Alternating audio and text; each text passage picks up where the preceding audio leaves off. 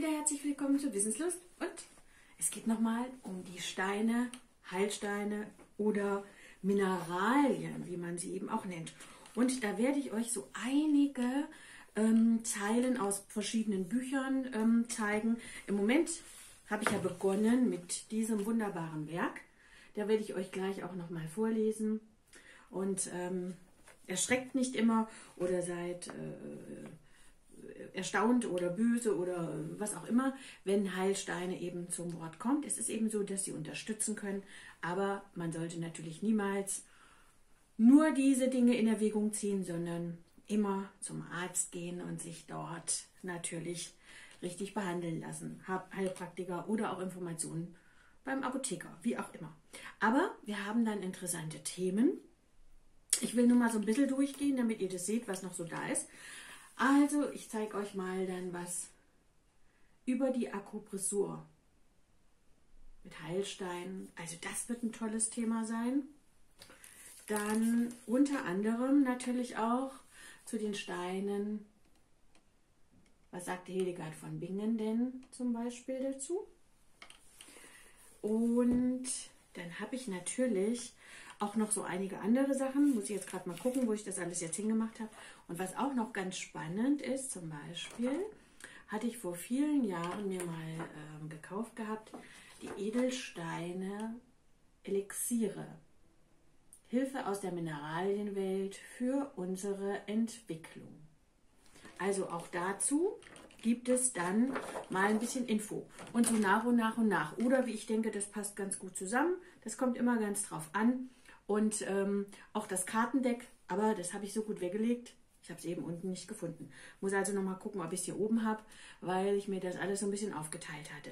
Also ihr seht, das könnte eine spannende Sache werden für den, der das mag.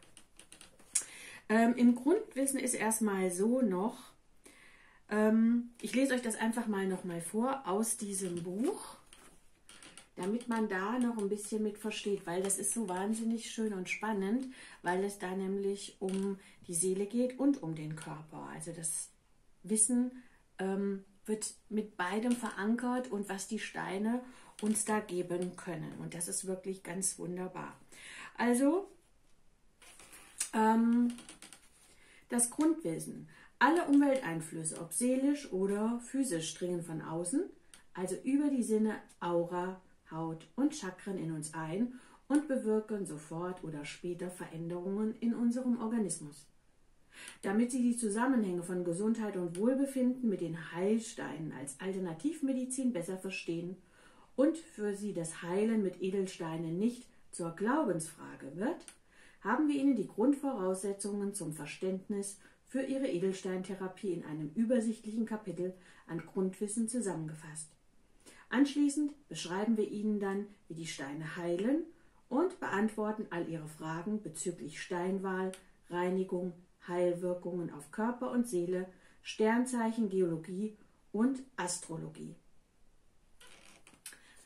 Ihr seht, dieses Buch ist sehr, sehr, sehr umfassend und wenn ich jetzt einfach mal, weil wir als nächstes, ähm, wenn das durch ist, werde ich euch den Malachit ähm, anzeigen. Und dann sieht die Seite zum Beispiel so aus. Also ganz viel Wissen dabei. Das werde ich euch dann vorlesen, weil der Malachit ist zum Beispiel auch ein Stein, sagt man, für den Steinbock. Und da ich ja ähm, im Moment hatte die Bachblüten und den Steinbock, ähm, habe ich gedacht, nehme ich auch als erstes dann dazu den Stein für den Steinbock und mache dann rückwirkend ähm, für die äh, Waage und auch den Schützen den Stein nochmal dazu. So, und hier ist zum Beispiel Heilwirkungen auf die Psyche, Chakren und wie pflege ich. Also dieses Buch ist sehr, sehr gut aufgestellt. Von daher ähm, lese ich euch dann davor. So, also was sind Sinne und sind Chakren? Weil das ist ja auch immer so etwas, was so als esoterisch abgestempelt wird. Ne? Ist ja eigentlich doof. Spirituell sollte man eigentlich sein. Esoterisch ist so ein abgefucktes Wort, finde ich immer. Und äh, spirituell ist alles, auch die Kirche ist spirituell, also alles, was mit Himmel und Erde zu tun hat, mit dem Glauben, mit uns selbst, mit allem, was lebt, mit allem, was ist. Aber das kann jeder ja so sehen, wie er will. Also man kann diese äh, Worte anders wählen. Und ähm, wenn man 50-50 so ein bisschen danach handelt, dann kann man so ein ganz klein bisschen offen sein und nimmt vielleicht doch was mit, ohne alles nur so abtun. Hm? Und ähm, man darf einfach schauen, es gibt so viel in unserem Leben, was dazugehört. Und ein bisschen davon äh, teilzunehmen, finde ich immer eine tolle Sache. Also, was sind Sinne und Chakren? Sinne sind Fähigkeiten des Organismus, verschiedene Arten von Veränderungen wahrzunehmen. Über die Sinneszellen der Sinnesorgane werden Informationen aus der Umwelt und unserem Organismus ausgewertet und an Körper, Geist und Seele weitergeleitet. Die Sinne geben uns Auskunft über unser Umfeld, warnen vor Gefahren und regulieren unseren körperlichen und geistigen Zustand. Das ist also immer wie immer sehen, riechen, fühlen, hören und schmecken. Aber was sind die Chakren? Das ist ein endokrines System, ein vegetatives Nervensystem. Dies sind Sinne, welche wir nicht beeinflussen können. Die Informationen, welche über die Subjektivität von Sinnesorganen ständig in uns eindringen, dringen direkt zu den Organen, Drüsen und zur Seele vor. Wir können diese nicht herausfiltern, wie diese zum Beispiel mit dem Schließen der Augen möglich wäre. Die Sinnesorgane zum Aufzeichnen dieser Informationen sind hochsensibles Nervengewebe, welches wir als Chakras bezeichnen. Wir unterscheiden hierbei sieben Hauptchakren und die Nebenchakren. Diese sind direkt mit den sieben Drüsen des endokrinen Systems verbunden. Nebenniere, Hypophyse, also die Hirnanhangdrüse, die Schilddrüse, Nebenschilddrüse, die Thymusdrüse, Eierstöcke und Hoden und das Inselorgan der Bauchspeicheldrüse. Sie filtern die Informationen aus unserer Aura und leiten diese in Form von Schwingungen und Impulsen an die Drüsen, Nerven und Organzellen weiter. Alle Informationen, die in unsere Aura eindringen, werden also gesammelt und den Energiezentren, also Chakren, zugeführt. Diese feinfaserigen Nervenzentren erkennen die empfangenen Informationen und zerlegen diese in Licht und Energie, um sie an das Innere unseres Körpers weiterzugeben. Chakras sind also auch Sinnesorgane, wie unsere Augen und Ohren auch, und erkennen jedes für sich die für sie bestimmten Informationen von selbst. Unsere Augen würden ja auch nicht riechen. Sie sind besonders sensible Körperstellen, worüber Umwelteinflüsse unterbewusst und un ununterbrochen in unsere Seele und den Körper gelangen. Alle Chakren leiten die Eindrücke über feinfaserige Energiekanäle zum Hauptenergiekanal nahe der Wirbelsäule weiter. Dieser ist über sensible Nervenfasern, den Meridianen, mit den Organen verbunden. Über die Energiefasern und die Nervenhauptkanäle werden die Informationen je nach Bestimmungen an das endokrine System oder dem parallel zur Wirbelsäule verlaufenden vegetativen Nervensystem weitergeleitet. Das endokrine System ist das System der Drüsen im Körper und kontrolliert die verschiedenen chemischen Funktionen der Zellen, Geweben und Organe. Es steuert deren Funktionen durch das Ausscheiden von Enzymen und Hormonen. Über das vegetative Nervensystem werden alle unterbewussten Lebensvorgänge gesteuert, wie Herzschlag, Atmung, Verdauung und so weiter. Hierüber erreichen die Informationen alle inneren Organe auf zwei verschiedenen Wegen. Einmal über den Parasympathikusnerv, welcher sich verzweigt durch Brust- und Bauchhöhle zieht, und zum anderen über den Sympathikusnerv, welcher direkt an der Wirbelsäule entlang unseren Körper durchläuft. Beide Systeme, also endokrines System und vegetatives Nervensystem, regeln die Lebensvorgänge durch Ausgleich von Hormonen und durch Impulse kleiner Energiestöße im Organismus. Durch Aktivierung des Nervensystems und der Drüsen des endokrinen Systems, welche durch Umwelteinflüsse um uns herum ausgelöst werden, wird also einiges im Körper bewirkt. Jedes Chakra schwingt mit der Harmonie bestimmter Organe und liegt auf der Wellenlänge einer bestimmten Farbe. Die Kräfte der Sinne, ob nun objektiv oder subjektiv, bestimmen unsere Existenz, das Wohlbefinden, Wachstum, Gesundheit und auch Persönlichkeit. Durch die Chakren werden die Informationen in uns hineingeleitet und ausgesandt und bewirken Liebe und Gesundheit und alle anderen seelischen und physischen Lebensvorgänge. Kurz, sie bewirken unser Leben. Tja, so ist das.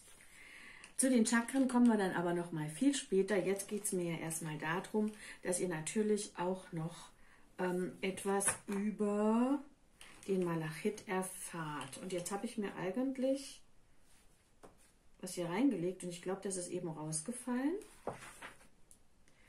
So, also, es gibt den Malachit für den Steinbock. Das zeige ich euch jetzt einfach mal. Also hier seht ihr so unterschiedliche Ketten, die ich dann unter anderem gemacht habe. Und ähm, dann habe ich natürlich auch extra Ketten gemacht gehabt, Steinketten für Menschen, die eben etwas korpulenter sind, ne? etwas molliger sind, so dass die auch mal Ketten finden, die gut passen und nicht die mir dann hier alles abengen. Also, ihr seht, ich hatte verschiedene Ketten gemacht gehabt und jetzt zeige ich euch mal Ah, hier sieht man noch viel schöner. Den Malachit. Okay, das ist der Malachit.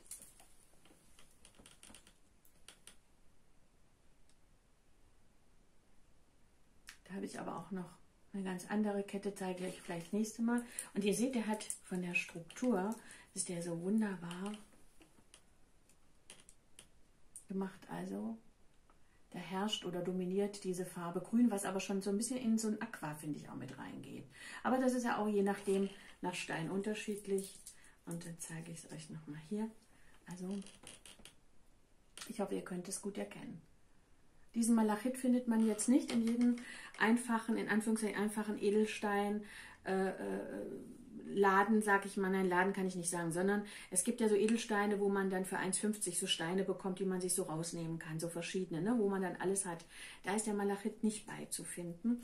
Und der Malachit steht auch nicht unter den Steinen ähm, groß zu finden bei der Hildegard von Bingen. Aber da er natürlich der Stein unter anderem für den Steinbock ist, habe ich ihn jetzt mal genommen. Und es gibt noch den Azurit Malachit. Und schaut mal, der sieht so aus, den habe ich aber jetzt nicht da.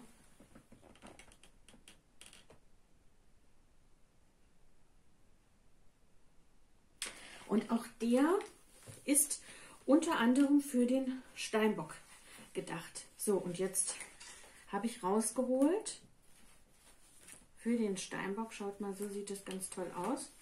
So ist es also beschrieben in dem Buch für den Steinbock.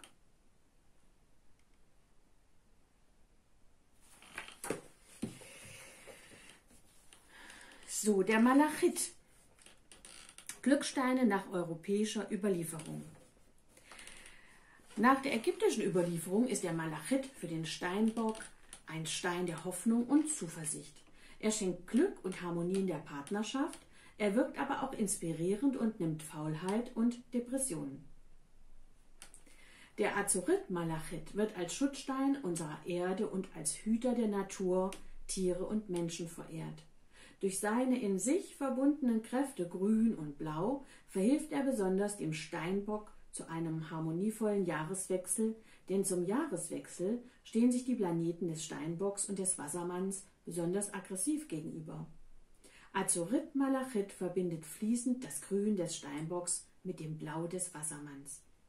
Er bewahrt seinen Träger vor seelischen Schwankungen, Gleichgewichtsstörungen und Charakterschwächen und umschließt seinen Körper mit einer zweiten Haut, welche alles Böse von ihm fernhält. Jetzt wäre zum Beispiel dann für den Steinbock auch noch der Moosachat, der Onyx oder Sardonyx und der schwarze Turmalin. Nach dem indianischen Medizinrat die Schneegans, Glücksstein der Schneegans wäre der Bergkristall. So, dieses also erstmal dazu und dann lese ich euch beim nächsten Mal ein bisschen mehr von dem Azurit-Malachit noch vor und von dem Malachit, damit ihr, da zeige ich euch noch eine tolle Kette und ich hoffe, ich finde mein, ähm, mein Kartendeck. Und dann geht es ein bisschen noch ans Eingemachte ran. Dann könnt ihr noch ein bisschen reinschnuppern. Also im Moment ist es wie gesagt der Steinbock, aber ich fahre natürlich auch wieder zurück und der Skorpion, der da kommt und die Waage, die bekommen natürlich auch ihren Stein, bevor wir dann in das Tiefere reingehen. Ich hoffe, das ist so erstmal für euch in Ordnung. Scheint jetzt vielleicht ein bisschen durcheinander, für mich selber auch, weil ich jetzt alles mit Rums gekrumselt hatte. Aber irgendwo mit muss man ja beginnen, ne? oder? also in diesem Sinne hoffe ich, wir sehen uns und ihr bleibt gesund und seid gesund. Und dann gibt es das nächste, dann gibt es nämlich den Stein für die Waage erstmal, damit wir zurückgehen und den Skorpion. Und dann gehe ich auf die Steine näher ein. Ich hoffe, das ist für euch so okay.